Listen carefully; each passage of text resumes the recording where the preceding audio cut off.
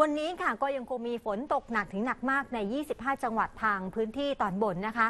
ขณะเดียวกันก็ยังมีพื้นที่น้ำท่วม 6 จังหวัดด้วยกันก็คือ นครพนมบึงกาฬสกลนครเพชรบุรี นครนายก และจังหวัดชัยภูมิค่ะ ซึ่งที่จังหวัดชัยภูมิค่ะ สถานการณ์น้ำท่วมยังขยายวงกว้างในพื้นที่ 7 ตำบลของอำเภอบำเหน็จนรงค์ส่วนใหญ่ก็เป็นพื้นที่น้ำท่วมซ้ำซากมีประชาชนได้รับความเดือดร้อน 63 หมู่บ้าน พื้นที่การเกษตรเสียหาย 15,000ไร่